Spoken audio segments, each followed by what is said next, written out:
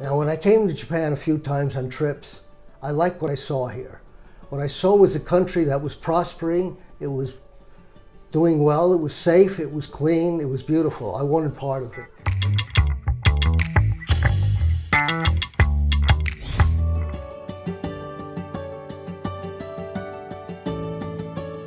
Gene, want to thank you for allowing me to come to your home to do this podcast. I've known you for a really long time. Yeah, it's been quite a while. It has been a long time. And, I we've saw, had a good relationship. You taught my kids. That's right, We I did. worked together. It worked, everything pretty You, good. to, you told me something that was very interesting. You said I was the first human Spider-Man in Japan. first Japanese on Japan, the first live action guy who put on the Spider-Man outfit. And you have a picture of that, don't you? Someplace Somewhere, we yeah, have yeah. pictures. Somewhere of in the archives. Yeah, yeah, okay, okay. I'll have to find Wow, it. I don't thank have you it right so now. much. Listen, but um, I, I, I'm, I'm a little nervous, but not now because we've been talking for a while. But I was a little nervous before I came here because I couldn't wait to see you and to talk with you. And you've had a very interesting career here in Japan, let alone in your life. hmm You've had a very interesting career because when I met you, I think you mentioned that Bob Beveridge introduced us to each other. Yes, And I think that's because I forget what it was. You wanted a referee or something. You we wanted a judge. judge for a, Judge For for a judge. a mixed Okay. match.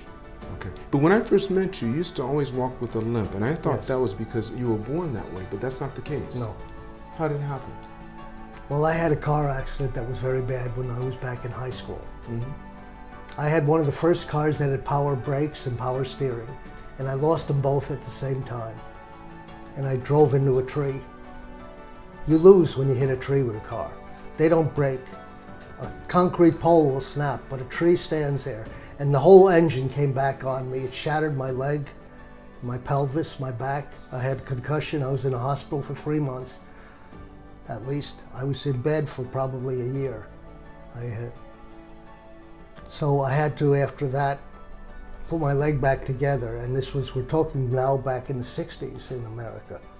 I had such a bad accident that they couldn't operate on me because my head was very injured and I was in a uh, coma for months. So during that time, what they did was put my leg in traction and take a piece of the bone that had actually come out on the road from my car accident, put it back in, but they never could get it back in right. So my leg was short. That's the reason. So and that's the therefore, reason. the shortness, I made up for that by getting a built up shoe. right, right. Well, there's one thing for leg. sure. It did not limit your mobility because I saw you everywhere. Yeah, I used to get you were around. constantly moving around all the time. All the tell me, where were you born, Gene? I New know York. this in the documentary. New York City, Right. To Polish family, Polish family. They came right. over for after World War One as refugees. and they were hard workers, middle class. Well, actually, when they first came in, they were probably The, the bottom low class. middle. They were Right. bottom of the barrel. First, Right, first, like first responders. They Mhm. came over with the boat, right. and uh, they were living in a place called Palisades Park, New Jersey. hmm I was born in Queens in a hospital. And my father would, took jobs, so did my mother. Everybody worked in the family. And they decided to open up their own business. So they bought a restaurant in upstate New York, a place called Roscoe, which almost no, nobody's ever heard of. So they moved the family up there, and we started a restaurant called the Red Rose.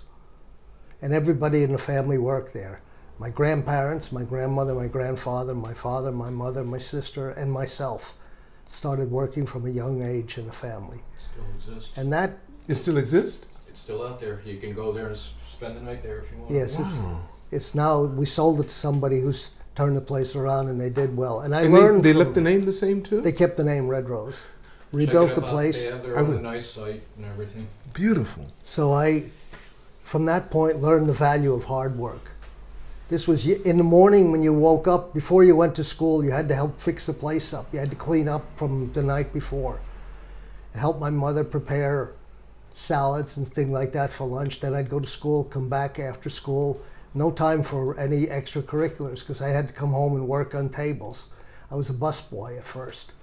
And gradually I worked my way through the entire restaurant business as a bartender and waiter. Mm-hmm. And you learned a lot about people from being a bartender.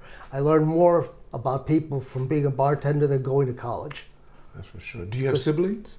I have a sister who just passed away. Okay, sorry to hear that. She's was she older than you or younger? She was older than me. How many years difference? Probably about 10 years. 10 years. So we, you guys weren't close or were you close? We were close because be we had to work in the same restaurant. Right. But She she- was a waitress, I was a bartender. It's like you had two mothers then in a way. If she was 10 years old. Yes, she helped raise me when my mother was think so. working outdoors. She took care of me. Right. So basically, I knew her very well, but she passed away recently. I'm sure that hurt, yeah. Well, tell me, how did you get into playing the piano? Was that something your mother wanted you to do or? My father was a musician and he loved music.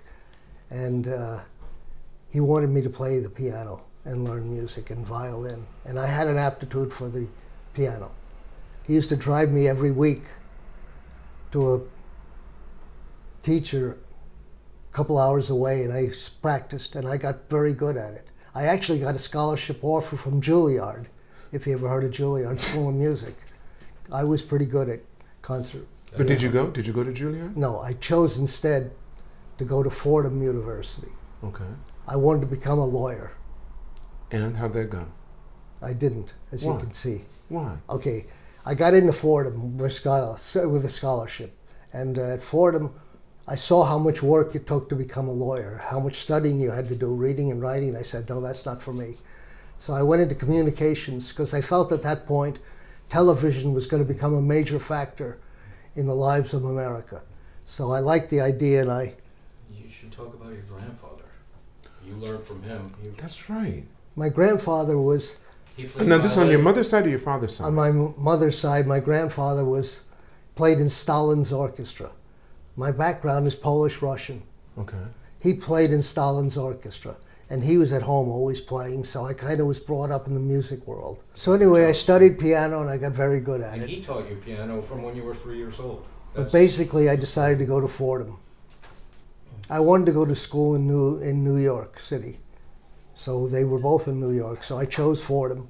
I went there and I changed from being a pre-law student to a communication arts student. My first job out of college was working for WMCA Radio as a radio announcer, and it was in Fordham that I met my wife at the time. So that was a circumstance that I've always been grateful for. Now, um, that's that. First job out of school was WMCA radio, and then I went into other things. And my, my wife, who I'm married right after that. You've only been married once. yes. Yes. I'm still on with the same wife, for which I'm very grateful. She was my home run with stars. So And we're now over 50 years on the road to forever together. That's beautiful. That is beautiful. What is it, 52 years now? 53? About that. Mm. So tell me, so what got you into what got you to Japan first? You met your wife at Fordham. At Fordham.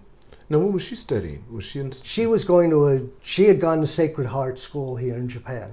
And there was the God, sure that. Sacred Heart uh, in Purchase, New York, called Manhattanville. So she went there for college. And it was a mixer between Fordham and Manhattan, both Vat and Vattenville. Both were uh, Catholic schools. So she came over and I met her one day. And the first day I saw her, I was thunderstruck. I saw her and I said, Oh my God, she was the most beautiful woman I'd ever seen. And that was it for me. I said, I want to be with this woman. And it worked out at that point. I won't give you the details of it, Right. but basically from that point on, we dated forever and then married. And as I said, we're 50 years on the road to forever together. Oh. And I hope this will continue still for some while. Now she's taking care of me because I'm having troubles Yeah. from coming from a car accident I had when I was young. Mhm. Now, um, what brought me to Japan? When people ask, like you just said, why did I come to Japan? There were three people a woman, Stan Lee, and Spider Man. The woman is the wife I've mentioned. Now, when I came to Japan a few times on trips, I liked what I saw here. What I saw was a country that was prospering, it was doing well, it was safe, it was clean, it was beautiful. I wanted part of it. But yet I knew nothing about Asia. I couldn't speak Japanese, I knew nothing about Japan. So I thought, what am I going to do to live, thrive, and survive in this country? Started looking around, and one thing I saw was there was a tremendous proliferation of comic books, manga. Everywhere I went, there was manga.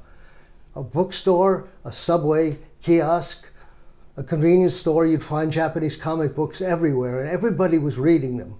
kids, men, women, adults. In America, was quite different. So the industry here was huge. And I said, wow, this industry is tremendous. But another thing I noticed was there were no American comics. So I looked around and I couldn't find any. Go to a bookstore, I'd say, Do you have American comics? And they say, No, we don't carry them. So I'd try and figure out why. And anyway, there was nothing there. So I thought to myself, look at this huge industry. Maybe if I can get American comics into Japan, I can make a living. I went back to America and I made an appointment with Marvel Comics. I went to New York City and I met with the then guiding genius of Marvel, who was Stan Lee. Was that easy to do, or was it complicated? I was pretty good at talking. Okay.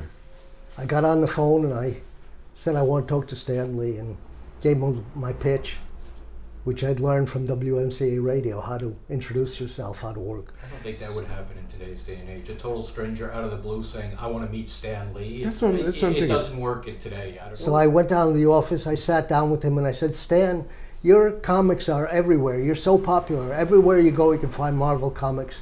But the country that is the biggest comic book market in the world is Japan, and you're not out there. They don't even know you exist. Why? And Stan said, Gene, I don't know why. We've never had a call for comics there. So I said, Stan, give me a chance. I want to go to Japan. I'm not going to charge you anything. I'll pay for my trip over. Let me do some research and then check on why you guys have never succeeded there. So he said yes. Stan and I kind of hit it off together. And I took some lessons about comic books because I knew nothing about comics at the time. So I went to New York, learned how they're put together, how they're written, how they're printed, how they're marketed. And I went to Japan, made a meishi, a card for myself that said Gene Pelc, Marvel Comics representative Japan.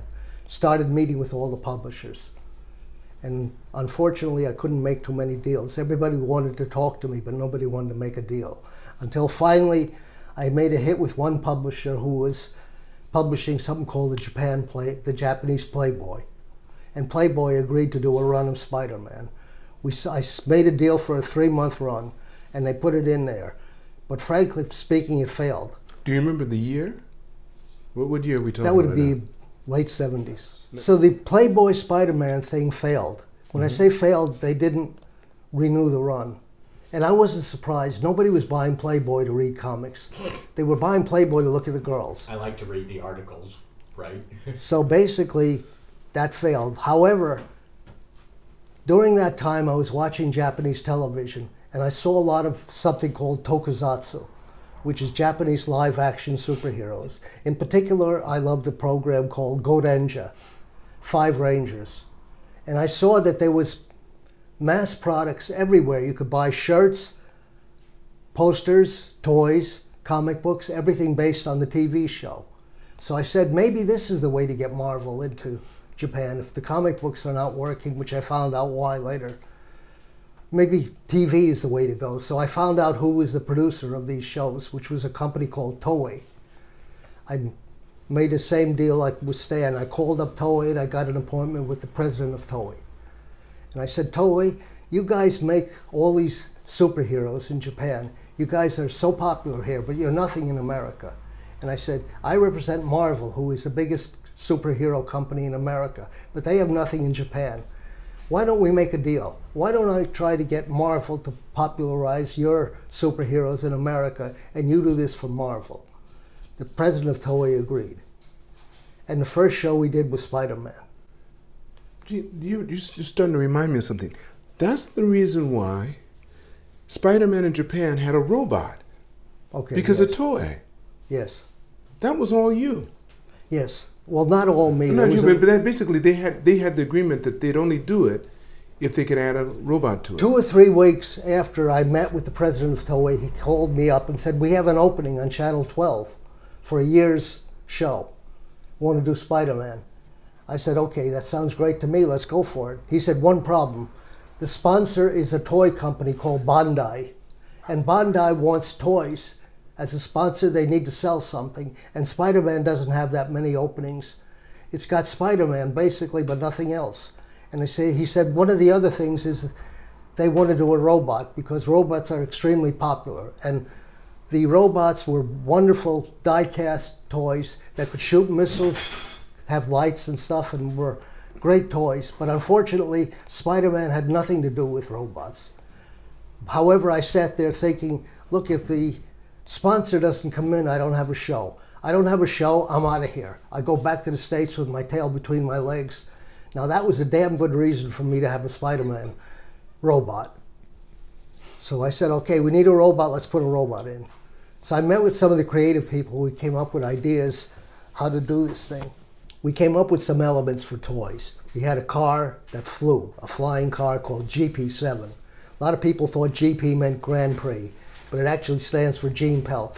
Because my show and radio was GP Stay Loose, I would sign off with. So it was a GP flying car. Now, what would happen is we'd have people that Spider Man could fight, and then when the opponent, the adversary, became so great, it was too much for Spider Man, he needed a robot to help fight it. So the GP 7 would fly into a robot and, and kind of morph into this giant robot called Leopardon. Now, a lot of people have asked me, why a flying car? And I'd say, why not? Same reason they said, why is the robot called Leopardon? And I say, why not? And we did it. So we shot a pilot with the car and with the robot and everything else in it. Peter Parker became a Japanese character called Takuya, Yamashiro Takuya, who was a motorcycle racer, and the motorcycle became a toy. So now Bandai was happy. They had all the elements they needed to be the sponsor, and we had a TV show. So we shot one. I called New York and I said, We've shot a pilot. You guys want to see it before we go? And they said yes. So we set up a time where a bunch of executives from New York flew over to Japan. And we were sitting, I remember it now, in a Toei screening room. The lights go out, the show came on, and there was everything that they had never seen stuff like this a flying car and a robot and stuff.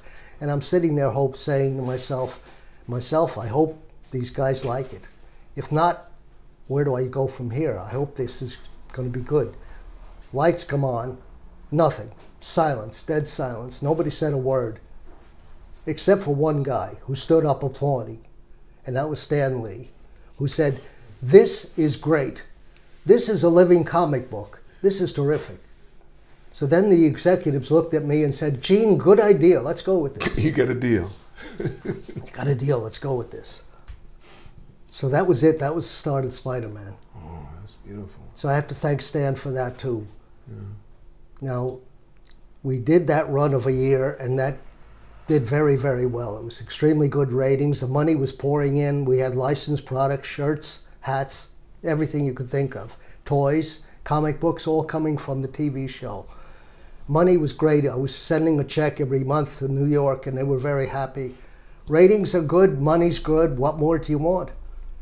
So then that show ended, and we got a chance to do another since that was so popular. And that idea of the robot in Spider Man actually revolutionized tokusatsu in Japan that had been going on for a while. This was a new element for them. So we came up with a new concept based loosely on the Avengers. It was called Denji Man. The main difference being that Captain Battle- America. Battle Fever was. Battle Fever J was mm-hmm. another one. And Battle Fever J, the main difference was it wasn't Captain America as the leader, it was Captain Japan because this was Japan. So we made that show, and that was popular also, and that had a robot as well. Now, that was the start of something later in my life to come about called the Power Rangers, which you may have heard about. And I heard that actually you got the short end of the stick, but they No. won't say it. But basically, a year after you'd already proposed I- it and set it out, someone I- else took credit for Well, it. what happened during this time when I'm doing this in Japan? Marvel had changed from being just a comic book company in New York to becoming a film studio, and they had bought a, a studio in L.A. And a lot of the guys, including Stan, moved to L.A. because they saw the future coming in te- television. They wanted to get their characters on Saturday morning TV and syndicated stuff. So I used to go over and learn a lot about the business at that time. So while I was there, I had this idea that you know you're doing this animation for Spider-Man, and we're doing the business of TV in America for kids superheroes. Now I had all of these programs that we had made in Japan, which when I looked at it, they were very exciting. The kids, even who didn't understand what was being said, loved the programs. And I thought, you know, if we got this on in America, this will work. All we got to do is reshoot the parts that show the Japanese faces. Now, in those shows that we were doing, all of the expensive stuff, the fighting, the choreographed martial arts, the explosions, were all done with characters in costume, so you never saw their faces. So all we have to do is get American actors to play where the Japanese actors were playing. That's cheap, that's studio work. All the expensive stuff is already in the camera. All we need to do is make duplicate negatives. And from the duplicate negatives, we got two thirds of the budget made already. We cut that in with the live actors in America, and we got a brand new show. And I made a pilot out of that.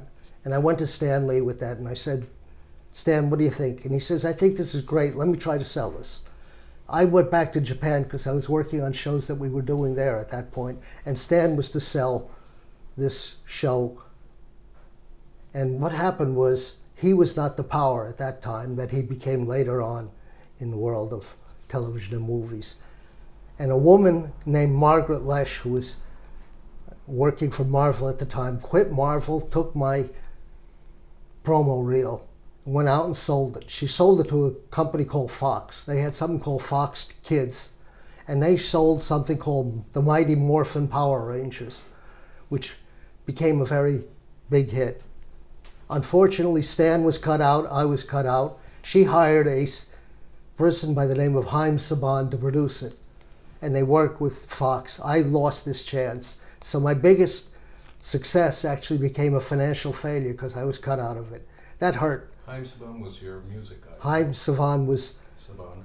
was cutting music for Saturday morning shows at the time, and he used to sit in in these rooms and watch these shows. And Margaret Loesch hired him, and they got the job. So my biggest success, as I say, became my biggest financial failure. I was cut out of it, and I said never again. So after Marvel, I made my own company. Mm-hmm. During these years, while I was doing the Marvel work, I noticed that a lot of foreign, non Japanese music artists were coming to Japan.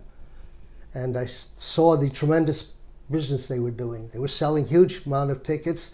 They were selling uh, merch. merch, T-shirts, posters, programs, hats, everything you could imagine. There was huge money in this, and I said, "Look, there's so much money in this. I should get into this." I figured out what was going on, and I found out that at the time, all these foreign artists gave their merchandising rights to the promoter, and the promoter did the uh, business, giving them a few thousand dollars per show, and that was it. Well, their interest was in selling tickets, and I realized this, so I saw how the bands were getting shortchanged on the little money they were making out of this huge business I saw. So I said, you know, here's an opening. This, there's a lot of business here. There's an opening here. A company a, a group that was extremely popular at the time back in the 70s was Duran Duran. I don't know if you remember that name.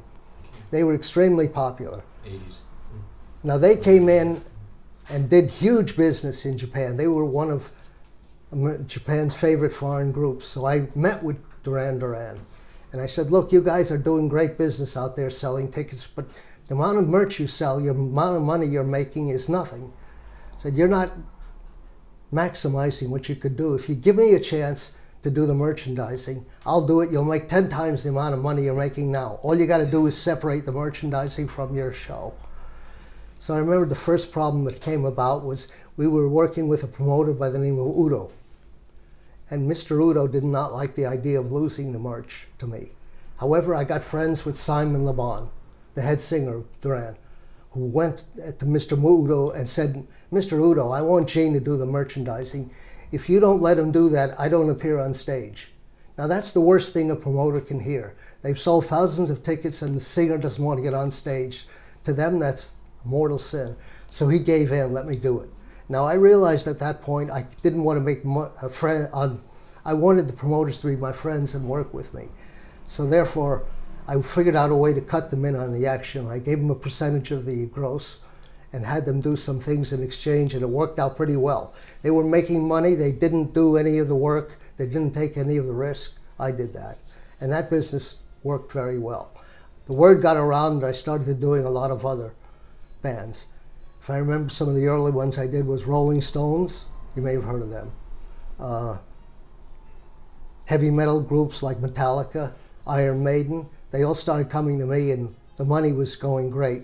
I was making huge money for the bands and for myself. So I continued that business. I made a company called Pelc Enterprises, and we did um, the merch for these guys, and my new business had started. I was a fan of pro wrestling.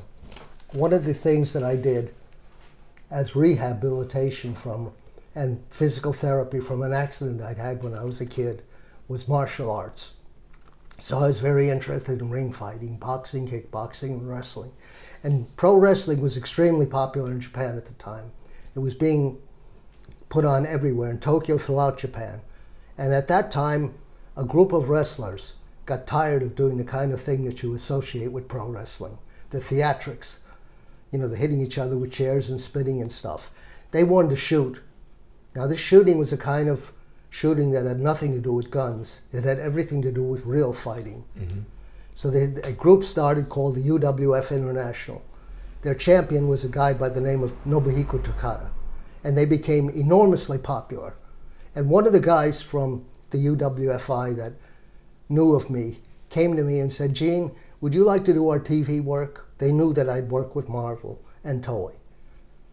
So I said, okay, this sounds good. Sounds like fun to me. It sounded like something that I wanted to do and I thought was becoming very popular. So I said yes. And I'd go to the shows and got the TV rights. Now, at the time, they also asked me to be a booker. A booker in the business of fighting is somebody who contracts fighters to come and take part in, in the various fights that you have. So they started, they wanted to have some foreign fighters. So I got, I booked fighters from the USA, Europe, Canada, Australia, and others and brought them over, basically because of my ability to communicate with in English. So we brought these people over, and the UWFI became enormously popular in Japan. They sold out the Tokyo Dome in hours once. And they had the show, which had a basic lineup of Japanese fighters and foreigners, which was kind of new at the time. And they were doing a kind of wrestling that's not what you associate with Greco Roman or putting a guy's shoulders down Something. on the mat for a three count. It was called submission wrestling. Mm-hmm. Now, this is when you take a, some part of a guy, twist it And until he tap- has to give out. up and he has to Right. tip out or, he, or knock, get knocked out Right. from a chokehold, he might pass out. So that wrestling was kind of new, submission wrestling. Came from sambo and other kind of sports, but it was new to wrestling at the time. And they became enormously popular. And I watched this stuff, and I said, you know, we don't have anything like this in the West. I bet you if we took this to America and Europe, this would be extremely popular. So I had the raw footage that I had shot for TV. Raw footage meaning you had shots of the guys fighting in the ring, no announcing, no talking. You had the sound of what was going on in the ring, you had the crowd noise. I took that raw footage, made a deal with a guy in England that was a producer and distributor. Now, uh, I went to them with my raw footage and my idea. I said, look, this is something new. I think it could work for you guys. How about cutting this into a, a show for you guys to distribute? And we called it through syndication worldwide. And he agreed. He liked the idea. So at this point, I brought in my son, Ted, who was very knowledgeable about what was going on. He had gone to a gym similar to this and worked out, so he knew the sport, he knew a lot of the fighters, and he knew what was going on, and he could speak English and Japanese. So I said, Look, it, I'll have Ted come over into England. He'll help you cut the shows because everything, the instructions, everything that came was in Japanese.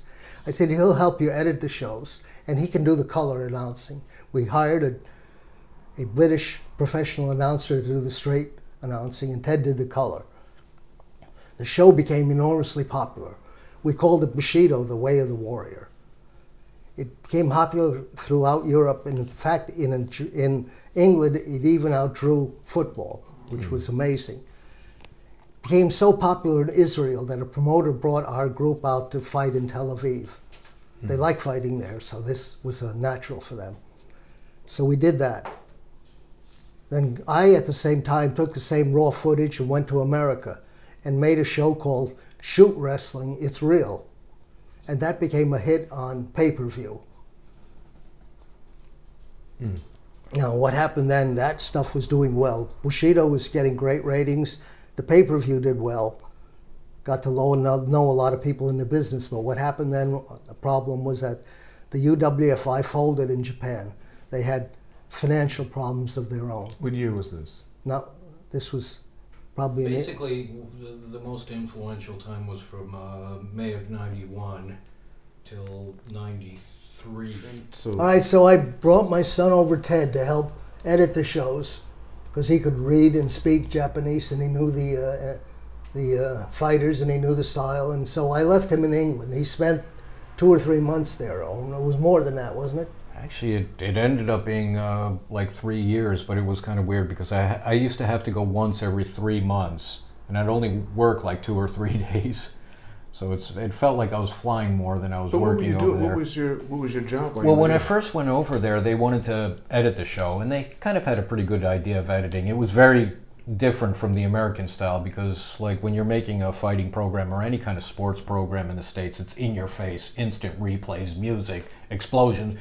British style is very different. It was a little bit more, I don't know, looking at a gardening show or a cooking show, you know, Okay. they have their style, but it was very good and professional for what it was. Actually, uh, my producer was a guy who, who was on Benny Hill's team. He used to make all those things back in Thames. So, and then uh, I, I would tell him, I I would tell him because I, I, I had done a little bit TV work and editing too, so I'd, I'd help the show. But basically, they needed color because nobody knew this. Because, you know, if you're talking about boxing or kickboxing or say Greco-Roman or fo- like Olympic style wrestling, you could find people who can do color. But this was actually, I shouldn't say it was new. This sport was so old that it was new. Nobody remembered it. Now, when you're saying color, what do you mean? What What's Comment, color commentary. So, So like like for what? the play-by-play, the Okay. the straight announcer, we had the five-time world karate champion, Right. And he he was doing the play-by-play, and I was doing the color commentary. Now, what's the color commentary? Explain to me. Okay, What's so the the, so the the play-by-play guy is basically if you look at a lot of sporting things, you'll have two guys. One guy is just going to call it.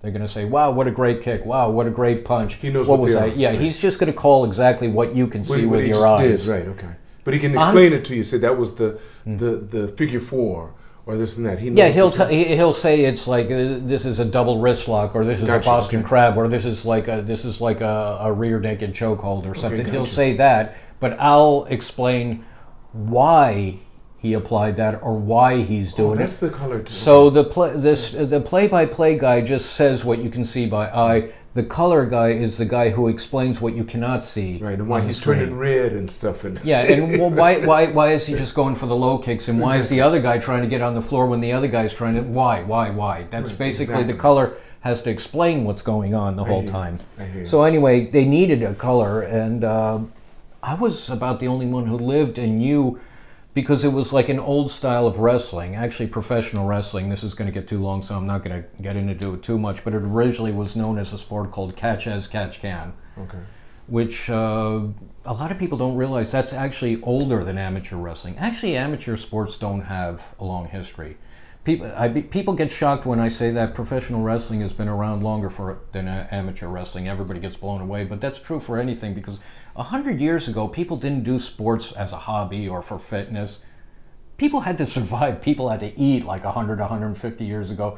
Nobody put on like their nike shoes and just ran around for the sake of running if you were running it was either somebody was trying to kill you or you were trying to do something that actually was feeding your family there's no such thing so people don't realize it but amateur sports really doesn't have a long history if you want to go back to it so anyway this catch as catch can came all along. It turned into amateur wrestling, professional wrestling, and things. And actually, uh, we're talking about like the, earlier the Inoki and uh, Ali fight. Ali fight. Actually, from that point, it was starting at the New Japan Dojo. They were starting to bring other people because they wanted to add on to this catch as catch can style, which orig- became like entertainment wrestling, shoot wrestling.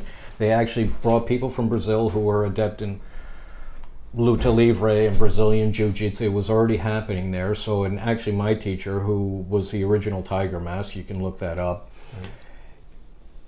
Him with Inoki, they wanted to start something, and Inoki was it was weird because in the 1970s, um, he said that I don't know when, I don't know where, I don't know how, but sometime it might be five years, ten years, twenty years, or thirty years. Mixed martial arts is going to be created modern day. It's going to happen. So we have to be prepared for that. So they started, and my teacher, actually in the 80s, he was the one who came up with the concept of the octagon and like the open finger gloves, and it was uh, an association sport called shooting, which now people call shooto, Okay. shoot, which was the original form of MMA. That was back in the 80s. I mean, the UFC didn't even start until 1993. That That's what I'm thinking. When you're saying shooting, that's not when the guy comes at the guy lower part. That's not. It's not a move. No, Shooting means yeah, shoot. you're shoot, fighting for real, Shoot just You're means a fighting for real. real. basically, and a work is the opposite. The work which is means that you know who the winner is. Choreographed. Okay, that's when Not, the guys are jumping off the really ropes and all that stuff. choreographed, but you know it's Right, you predetermined. know what they're gonna do. The, Predetermined the finishing outcome is predetermined as a work. But in, in, when grappling sports, you say that when it's predetermined, you call it a work. In striking sports like boxing or kickboxing, it's called a fix, like the fix is Okay, in. of course, right. And every sport has their name. Yeah, like yeah, in yeah. tennis, it might be banking or something. right. But in, in sumo, it might be yaocho or chushagahaido. Yes, chushagahaidu. I hear you. And like gachinko means real. So every sport has their name for real and, And the one that's predetermined. right, predetermined. So every sport in wrestling, it just happens to be called a shoot and a work.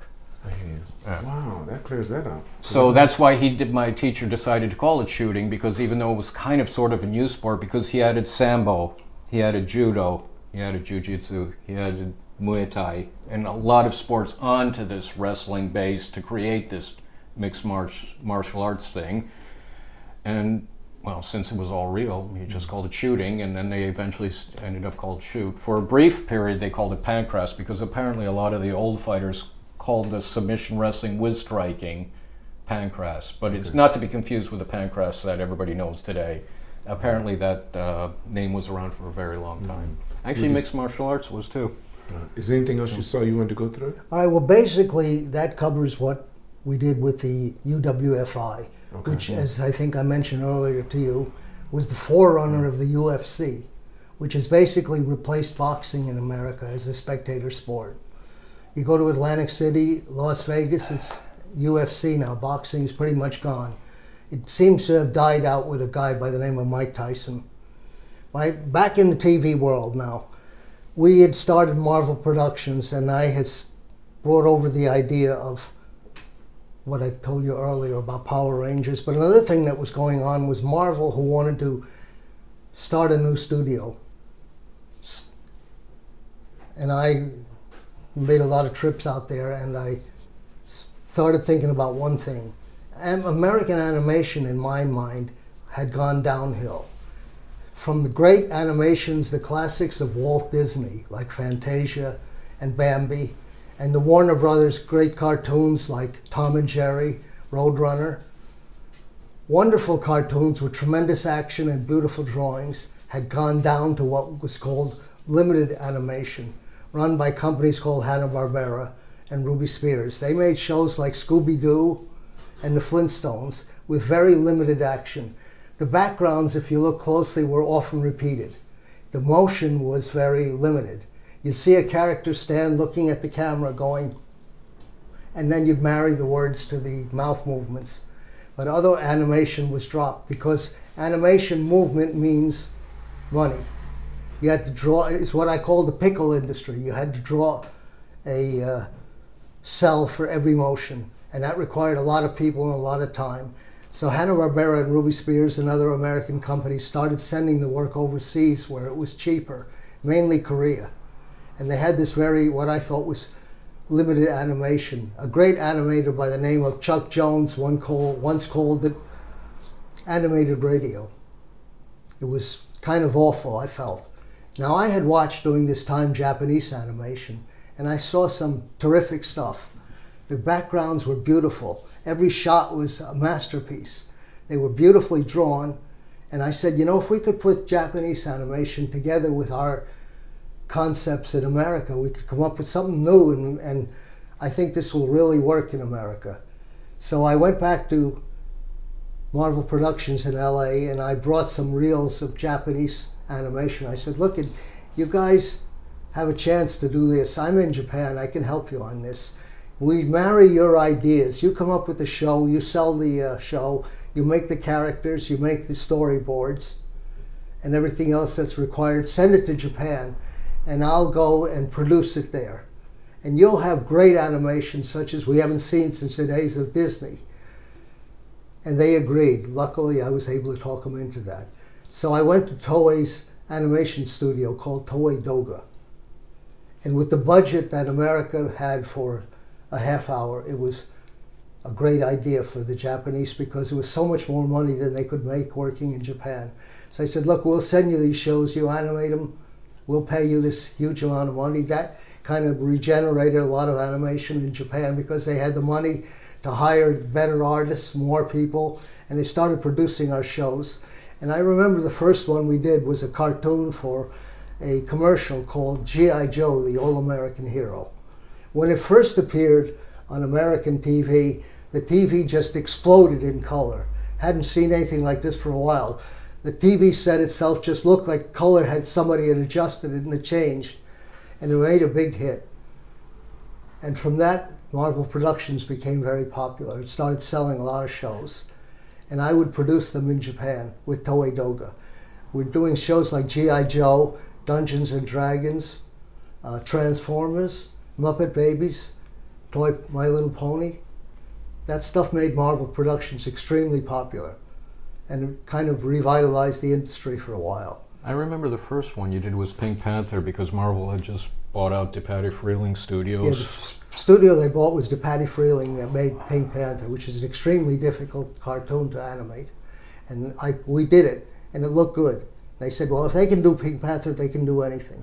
Pink Panther is hard to do if you look at the originals. Every animated character you see on TV now has a black line around it.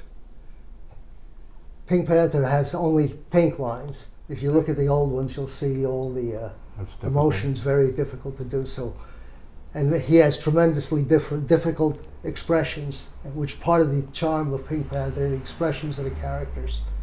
So we brought a director over from Japan, from America to Japan, and I would babysit the American directors here, get a translator for them, and go to the studio and work out the problems. We created that, and we started making all of this stuff. One of the problems was G.I. Joe, the all American hero, being made in Japan was not a great thing. So we cut out the Japanese names and put in just the names of the Americans, the guys who did the storyboard and the models and the speaking. And money was okay for Toei, so that's what counted there. So that kind of got started, and, and then, as you know, there was some films got to be enormously popular in America. You'll probably remember the Transformers, which you'll see my name on as a producer. So that was another thing that was doing very well for a while. But then another problem came up. The Japanese yen gained in power, the American dollar was falling. For a long time, the dollar had been pegged to the gold standard. Japanese animation was, of course, paid in, in Japanese yen, which was about 360 to 300 yen or so to a dollar. So a dollar moved into Japanese currency, made a lot of money.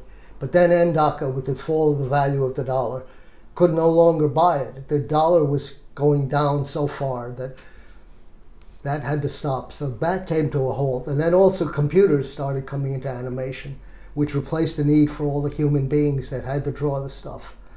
So that business fell down.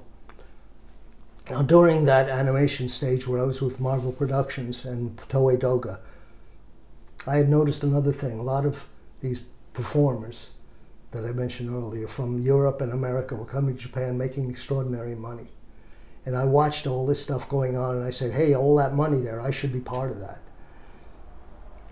So the first group, as I mentioned, was Duran Duran that I work with. And I said, you know, you guys are making all this animation, I- I- all this music and all this merchandising, but you're getting very little money. If you let me do it, you'll make a hell of a lot more. So I said, all you got to do is take your merchandising rights away from your performing rights, give them to me, and I'll do the merchandising for you. And I could work closely with your artists. And the artists can use the merchandising to get part of their performer to the people. And fans will love being in touch with your people. If you're if you guys work on the programs and the drawings and stuff and do what you love, the fans will associate with that and they'll want the product more. So I talked to Duran Duran, as I mentioned earlier. Mm-hmm. Simon Le Bon bought into me. He was the lead singer, and he told Mr. Udo, who was the promoter, that if Gene doesn't do it, I don't appear. Right. And so that made the deal. I started did- being friends with the promoters. Did they use that any kind of animation and stuff with these groups? Did you have that connected together in any way? No, No. that was two totally No, it was, it's different. two it was different totally things. separate. It was Okay. After you did all of this, did you where did you end up after COVID, or did COVID really put All a right. big dent in? what So here I'm rolling along with the merchandising business. I'm Right. doing virtually everybody that you ever heard of that came to Japan were Right. using Gene Pelc. Right. I'm talking about Jon Bon Jovi, Madonna, Rolling Stones. Rolling Stones, uh, Iron Maiden, Taylor Swift. Well, who who didn't we do? over the Everybody. pa- Basically, every- almost- basically everybody. Almost everybody who came to Japan went through me because the money was doing so well. Right. Then another problem came up. This one I couldn't beat. That was COVID. The government stopped issuing visas to people from abroad, and the bands who were touring stopped touring, so nobody was coming here. And Japanese bands did not give away their merchandising rights like American bands and European bands did. So you had So- no chance of getting breaking that market. There was nothing to break. There was nobody coming over there, Well, the and, Jap- and the venues were also limited. That's The right. They They didn't Japanese, let a lot of Japanese people in. bands weren't playing either. They Everybody couldn't. was on lockdown. Nothing was happening. That's right. The venues limited the number of people coming in, so that killed the- the merchandising business. Completely. So that ended. So what did you do in lieu of that? I mean, of course, the subsidies didn't really help. They just kind of like putting a band. Well, I had made quite a bit of money on in merchandising, and I saved it, Yes, that's good. which I've had been used in since then. So yeah, the COVID kind of killed that business. So well, even yes, after the earthquake, for six months, nobody wanted to come over here. The foreign talents, That's true. Hmm. because you know why? So that was the first. That was the first shock. But then, Yeah, they looked at TV, they saw that flooding, and then they thought that that was the entire country because they only saw that one little clip, and they said, "Hell, I no, ain't they saw that there." one little clip for three months, every second. Single, so nobody's yeah. gonna there saying, "Why the hell would we want to go to Japan?" That's right, Now, exactly, and exactly. so for six months we were dead. So and what'd you do after then? Six What'd you months, do during that back. time too? Well during that time, we have a, I have a medical problem. I had a bad leg from being a kid in high school. I decided to get a hip replacement, mm, and it went bad. You had it done here in Japan. Here in Japan, yes. I don't want to get into the Okay, details well- of it, but It didn't go well. it went very badly. right. I wound up being almost a year in bed. You're catching me on the end portion of that year. I'm now in rehab trying to walk and move again like I used to. Which I don't think will. I'll ever be a Fred Astaire, but Right. at least I'll be able to walk around. I'll chase you. Okay, that'd be good. Now, So anyway, so, So- that that was the first thing. That Right. was right after the the earthquake that happened and all the nuclear fallout. mainly it was COVID that stopped So that. COVID stopped everything. Hmm. It stopped everything in that business. So I did get back into it because one of the things is everybody in the world knew of Gene Pelc in Japan. And they said, if you want to do merch, you got to use this guy. So they started calling me. And as you know, recently Japan opened up. They had all the summer festivals, Fuji Rock, Download Festival, S- Summer Sonic. How did it go? It did all right. I got involved in that in a different way. I wasn't actually working at the uh, the venues anymore. I became kind of an agent consultant. I'd put the deals together for bands in the states and Europe to come here, and I put uh, Billie uh, Eilish, a lot Lady of the Gaga, group. you just well, after the festivals, I did Billie Eilish together with a Japanese group of merchandisers, and I was there in between communication point to negotiate the deals and talk about everything how it'd be done. So we did Billie Eilish just recently, and Lady Gaga finished about two three weeks ago, if you remember. They did very very well. I'm going to do. Uh, Justin Bieber, if he does come over, he's supposed to come over. He sold a lot of tickets, but he's very sick. Right. He may not come. So there is light at the end of the tunnel. You see Yes. it getting brighter. That's good. And I'm looking at some new things that I'm doing, and maybe through your podcast here, Lance, maybe we can come up with something. Let's do it. Uh, I've written a book about Japan that I think has legs as a TV or a movie. Has it been published yet? No, I'm looking for a publisher Okay. or a literary But you know, agent. but, but you can actually do it yourself. You know. However, with a good, without a good agent, It's there's so much stuff out there That's now True. That's true. that it's very difficult. So I'm I'm a realist. I've been in the commercial Okay. end of stuff. Just writing a, a book or making a film is called to me vanity publishing. It's a book that winds up on your mantelpiece and nowhere else. So I'm looking for an agent or a publisher who wants to work with me. I think the book is very good. I think it's perfect for somebody like a Netflix or somebody that's interested in doing a movie. And I do have quite a background of coming up with things that became fairly popular, as we've talked about. So uh, I've also got a new concept for a cartoon animation project that I want to get out there. So I'm looking for the right contacts, the right sponsors, the right To actually do the animation? to work with me on popularizing these things. Oh, but not to make the animation itself. Maybe even that too. I want to talk too. to somebody from the start to the finish. I have been in these things from initiation to the finale. So I'm looking for a contact who might believe in working with me and thinking that maybe lightning, lightning will strike again. Okay, Maybe we can work together. that's for sure. Lance, you've been here long enough to know that Japan, as one of the first world countries, has the smallest percentage of Christians of any country in the world. I've written a story about why. A lot of people don't know the story. Not even Japanese are aware of why this happened. Mm. There was a time in Japan, by the way, when Christianity was strong. It was called the Christian century, but it died out. And I figured out the reason for this, and I wrote the story. And I think it'd make a great film and a great book.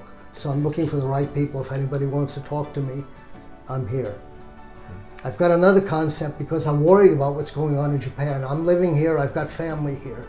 I want to see Japan continue to prosper and do well. But I'm very scared by what I see happening in the Pacific. What's going on between America and China bothers me awfully. Mm-hmm. What I see in Taiwan scares me. I saw Hong Kong. I'm watching Taiwan. What if Japan is next? So I've come up with a concept to address that, which I'd like to talk to somebody, but I haven't copyrighted the idea. So until I Until you get that copyright get that right. set, I want to wait. You're not going to go through the Power Rangers too. That's for I sure. don't want that to happen That's again. not. That won't happen. That again. hurt. Or another UFC. Another Or UFC. UFC ball. Right, right. So I can see what your future is going to be. It's going to be very bright because I'm going to make sure I help you as much as I can. Okay, look forward to it. And I want to thank you so much for this time, Jane. All right. Well, let's see. Ted, Thank you. Fantastic. Mm. I want to tell all of you watching this podcast right now make sure you press like and subscribe. And remember, it's all unknown, so continue to reach for the stars because you're too blessed to be stressed.